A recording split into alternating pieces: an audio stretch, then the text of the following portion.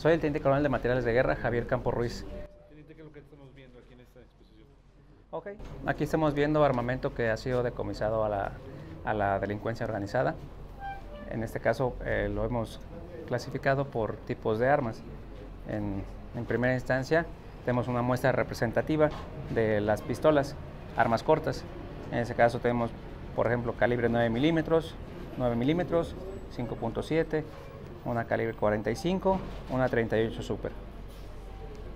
Vamos a, eh, hacemos hincapié en que la delincuencia organizada ha ido evolucionando su, su nivel de, de, armas. Entre, entre más recursos poseen, buscan tener mejor, mejor equipamiento en armamento. Posteriormente podemos clasificar las armas largas eh, que son individuales.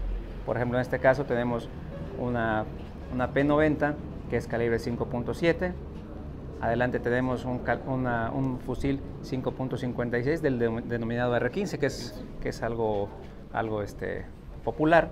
Adelante tenemos un fusil Herstal de fabricación este, belga, eh, denominado SCAR. Posteriormente tenemos el igualmente eh, muy conocido cuerno de chivo AK-47, calibre 7.62 por 39.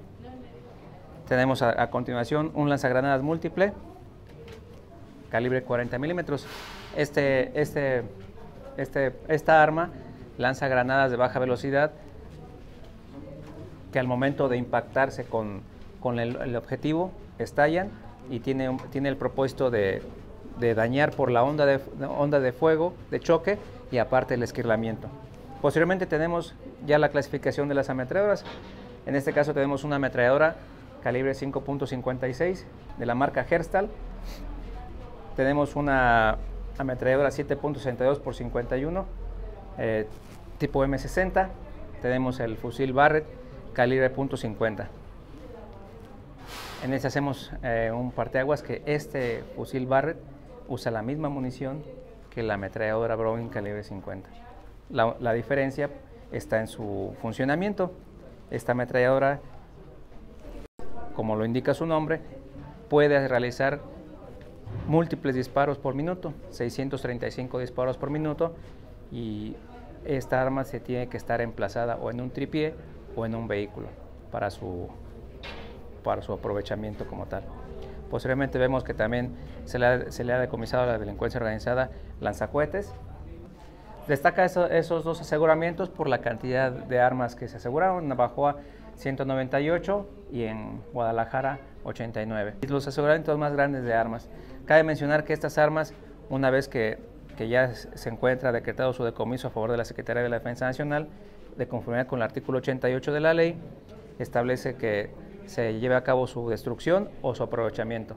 En este caso eh, es del, del, dominio público que se hacen destrucciones de, de armamento, incluso han hecho ceremonias públicas donde se inhabilitan las partes esenciales del arma, como son el cañón, los cajones de mecanismos y las partes móviles. Y con esto ya el arma, aunque pudiera, no hay un cañón que pueda ser unido, pueda funcionar.